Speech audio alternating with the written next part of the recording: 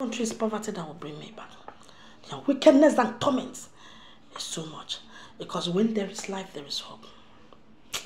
I don't know. Arabian have gotten away to stay. I wouldn't even suffer myself. But generations of bastards who you people have forsworn. The same way you use sword, that sword you must use on yourself. Uh, uh. The same way you use sword on me. May the sword not depart from you until you are totally and finally, completely just as I'm prophesying Habakkuk judgment night.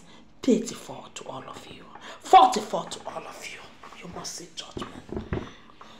Woe to any man that is taking my degree, that is owing me, that I've done something for in any way, and you're supposed to bless me, and you're not doing it. Your children will cry worse than what I cried when my father was assassinated.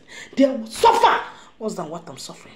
He's not a cause, he's a mere prayer, and there will be nobody to rescue them, neither human nor God, neither divinity or humanity will rescue them. I have spoken, signed, stamp. His Chief Justice, Etienne.